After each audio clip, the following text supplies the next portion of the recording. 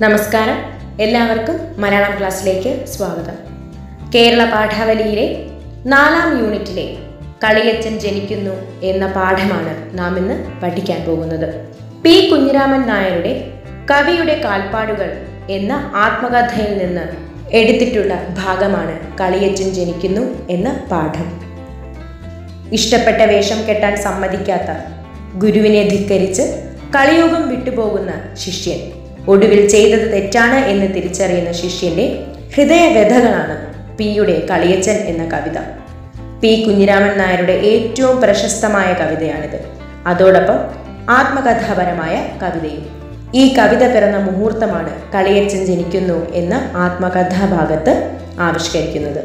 പാഠഭാഗത്തേക്ക് കടക്കുന്നതിന് മുൻപ് പി കുഞ്ഞിരാമൻ നായരെ കുറിച്ച് ചില കാര്യങ്ങൾ നമുക്ക് മനസ്സിലാക്കാം. മലയാള സാഹിത്യ ചരിത്രത്തിലെ നിത്യവിസ്മയമാണ് പി കുഞ്ഞിരാമൻ നായർ. എഴുതിയ കവിതകളുടെ ബാഹുല്യം കൊണ്ടും കവിതകളിലെ സൗന്ദര്യാംശങ്ങളുടെ സമ്പന്നത കൊണ്ടും ആകാശഗംഗയിൽ നക്ഷത്രങ്ങൾ എന്ന പോലെ കാവ്യബിംബങ്ങളുടെ ധാരാളിത്തം കൊണ്ടും അനുഗ്രഹീതമാണ് അദ്ദേഹത്തിന്റെ കാവ്യലോകം. കവിതയും ഗദ്യവും ഉൾപ്പെടെ എൺപതിലേറെ കൃതികൾ മലയാളത്തിന് സമ്മാനിച്ച കവി.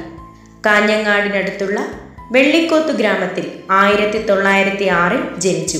കാഞ്ഞങ്ങാട് സംസ്കൃത സ്കൂളിൽ അധ്യാപകനായി സേവനമനുഷ്ഠിച്ചു. പതിനാലാം വയസ്സിൽ രചിച്ച പ്രകൃതി ഗീതമാണ് ആദ്യ കവിത.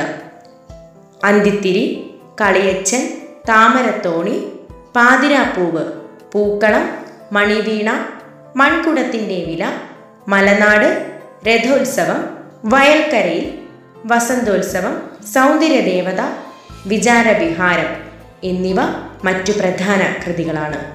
കവിയുടെ കാൽപ്പാടുകൾ എന്നെ തിരയുന്ന ഞാൻ നിത്യകന്യകയെ തേടി എന്നിവ പി. കുഞ്ഞിരാമൻ നായരുടെ ആത്മകഥാപരമായ രചനകളാണ്.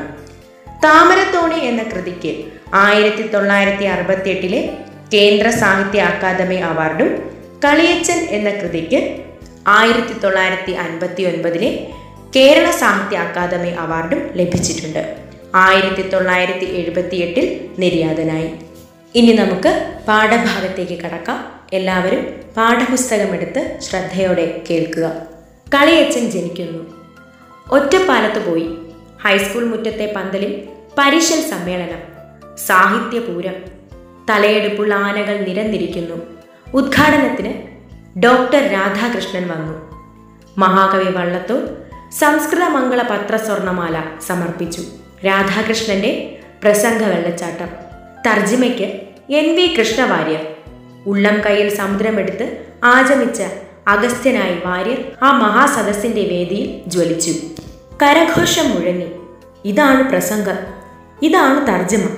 കുത്തിയൊലിക്കുന്ന രണ്ട് പ്രവാഹങ്ങൾ. കൃഷ്ണവാര്യർ എന്തെന്ന് മഹാജനം മനസ്സിലാക്കി. കഴിവുകളുടെ ആവനാഴിയിലെ ഒരു അസ്ത്രം മാത്രമാണിത്.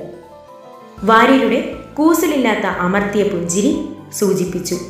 രാധാകൃഷ്ണൻ ആശ്ചര്യഭാവത്തോടെ വാര്യരെ നോക്കി. ആ ചെറിയ മനുഷ്യന്റെ വലിയ തല സദസ്സിന് ചോദ്യചിഹ്നമായി. സ്വന്തമായി ഇംഗ്ലീഷ് പഠിച്ചൊരു മനുഷ്യൻ രാധാകൃഷ്ണന്റെ പ്രസംഗം അതേ ചൂടോടെ വെളിച്ചത്തോടെ ശ്വാസം വിടാതെ മലയാളത്തിലേക്ക് ആവാഹിച്ചു. കൈക്കരുത്തുള്ള മന്ത്രവാദി. ഇംഗ്ലീഷിലെ ചില പദങ്ങൾക്കും മലയാളത്തിൽ വാക്കുകളില്ല എന്ന് സ്വന്തം അജ്ഞത പുറത്തിടുന്ന വെറും ഡിഗ്രിക്കാർക്ക് ആ തർജമ ചാട്ടയടിയായി ആദ്യമായി മഹാകവി ജി. കവിത വായിച്ചു. അന്തസ്സുള്ള മനുഷ്യൻ. കഴിവുള്ള കവി. ആഴമുള്ള കവിത. വൈലോപ്പിള്ളിയും ഒളപ്പമണ്ണയും കവിത വിളമ്പി. പനിനീർപ്പൂവും ചെമ്പകപ്പൂവും ആ വേദിയിൽ ചിതറി. നാളെ ജി അധ്യക്ഷൻ. കവിത വായിക്കണം. വിഷയം പോലും ചിന്തിച്ചിട്ടില്ല. മനസ്സു മറ്റേതോ ലോകത്തിൽ അലയുന്നു. സന്ധ്യയ്ക്ക് നെക്കിടി വണ്ടി ഇറങ്ങി. ഭാരതപ്പുഴ വറ്റാത്ത കവിത കണ്ണിലും കരളിലും. ഈ അനുഭൂതി പകർത്താൻ പറ്റുന്നില്ല. ആ മലയുടെ ചിത്രങ്ങൾ അലൗകിക അനുഭൂതി പകർത്താൻ പറ്റുന്നില്ല. അരുണോദയത്തിനു മുമ്പ് കവിതയുണ്ടാകണം ഉണ്ടാക്കണം. മംഗലത്തെ കൊച്ചുവീട് പാവപ്പെട്ട അമ്മുക്കുട്ടി ടീച്ചർ. മുക്കിൽ മുനിഞ്ഞിരിക്കുന്ന ഭാഗവതർ കണ്ണീർ കുടിക്കുന്ന മാധവിയമ്മ. എല്ലാം തലയിൽ കയറിയിരിക്കുന്നു. കവിത രാത്രി കവിത വരണം. കണ്ണൂരിൽ നിന്ന് വണ്ടി കയറി. ആൾത്തിരക്കിനിടയിലിരുന്ന് കോഴിക്കോട്ട് ഇറങ്ങും മുമ്പ് റേഡിയോ കവി സമ്മേളനത്തിനുള്ള കവിത എഴുതി തീർക്കുന്ന മനസ്സിന് മാതൃഭൂമി വിശേഷാൽ പ്രതിക്കുള്ള കവിത ബസ് യാത്രയിൽ ഒരുക്കി വന്ന മനസ്സിന് അഞ്ചു മിനിറ്റിനകം ഇരുന്നൂറ് വരി കവിത നെയ്തു വന്ന ഈ മനസ്സിന് എന്തു പറ്റി മലയാള മുൻഷിപ്പണി? ആ നിലവിളി കവിയെ കൊന്നുപോകും അറിയില്ല. ഒന്നും അറിയാൻ പറ്റുന്നില്ല. ഹൃദയം ചുടു നെടുവീർപ്പിട്ടു ഭാരതപ്പുഴ വക്ക് നീലരാത്രി വൈരപ്പൊടി ചിതറിയ ആകാശം ദൂരെ മങ്ങിയ മലനിര പുഴയുടെ ഏകാന്ത ശാന്ത സംഗീതം കാളവണ്ടികൾ ഉറങ്ങുന്ന കടവുതോണി ഇണങ്ങിയ ശ്രുതി പാട്ട് വരുന്നില്ല. കവിതയെടുത്ത് കഴിഞ്ഞ മഹാകാശം ചോദിച്ചു തന്റെ കവിത എന്തായി? ഒന്നുമായില്ല. വാതിൽ തുറന്ന് പടിയിലിരുന്നു. കുറെ കഴിഞ്ഞ് കിടന്നു. ഭാവനാലോകം ആവാഹിച്ചു. പറ്റുന്നില്ല. വെള്ളക്കടലാസിരുന്ന് മുഷിയുന്നു. പേന കോട്ടുവായിടുന്നു. കഷ്ടം. കവിത വരുന്നില്ല. ഏഴു മണിക്കാണ് ഒറ്റപ്പാലം വണ്ടി. അഞ്ചിന് കുളിയും മറ്റും കഴിയണം.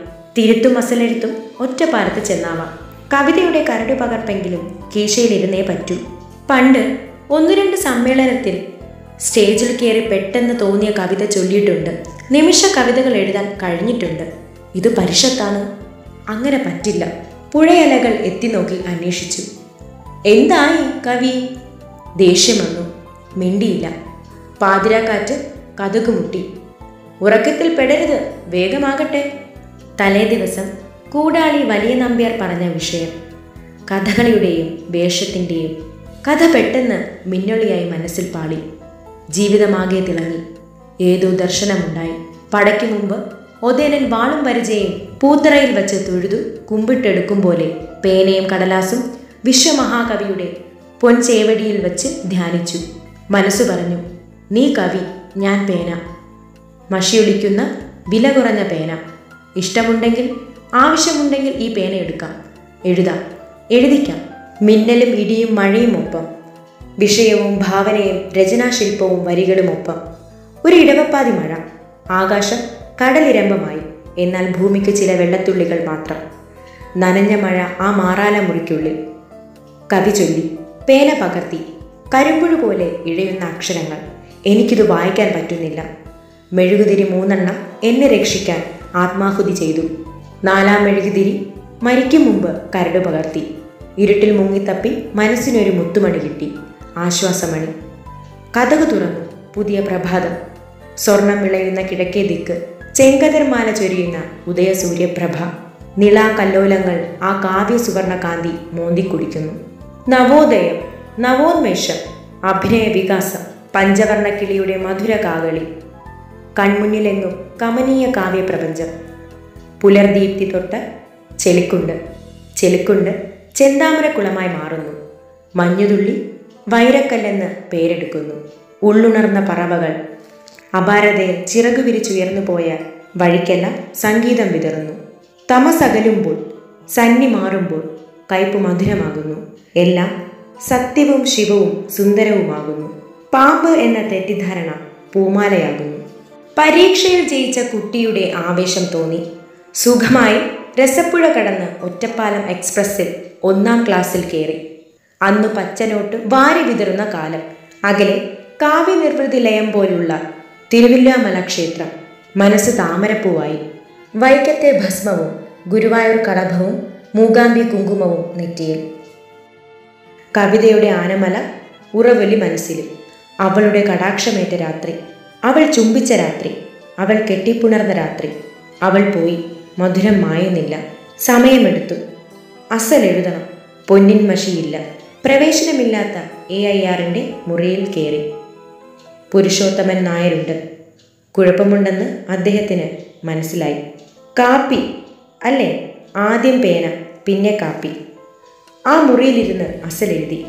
പുരുഷോത്തമൻ നായർ സഹായിച്ചു. ഒരുങ്ങി നിന്നു. ജിയുടെ അധ്യക്ഷ പ്രസംഗം കഴിഞ്ഞു. അധ്യക്ഷൻ വിളിച്ചു. കവിത പി. കുഞ്ഞിരാമൻ നായർ. നിറഞ്ഞ മഹാസദസ് മുൻവരിയിൽ വള്ളത്തോൾ. അധ്യക്ഷൻ. ആളെവിടെ? ആളെവിടെ? കവിത പൊതിയുമായി സ്റ്റേജിലെത്തി. വള്ളത്തോളിന്റെ കാൽക്കൽ സാഷ്ടാംഗം വീണു. കേരളത്തിന്റെ സംസ്കാരം സൗന്ദര്യം സന്ദേശം. ഈ മൂന്നിന്റെ പുളകമണിഞ്ഞ പൂർണചന്ദ്രപ്രഭ വള്ളത്തോൾ. അനുഗ്രഹിച്ചു. കവിത വായിച്ചു. കവിത വായനയല്ല ചാക്യാർ കൂത്ത് എന്ന് തോന്നി. സദസ്സ് രസിച്ചു. ലയിച്ചു. വലിയ കരഘോഷമുണ്ടായി. കവിയുടെ ജീവിത കവിതാബലിയായിരിക്കാം ഇത്.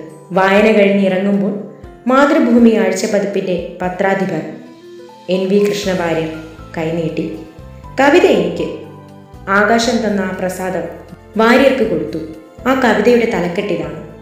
കളിയച്ചൻ ഒരു പ്രസിദ്ധ പത്രം. ആ കവിത വായിച്ച ദർശനീയ രംഗം വർണിച്ചെഴുതിയെന്ന് കേട്ടു. ആ വാരിക ഇങ്ങനെ എഴുതിയെന്നറിഞ്ഞു. ഒരു ഗന്ധർവ ഗായകനെ പോലെ കുഞ്ഞിരാമൻ നായർ രംഗവേദിയിൽ വിളങ്ങി.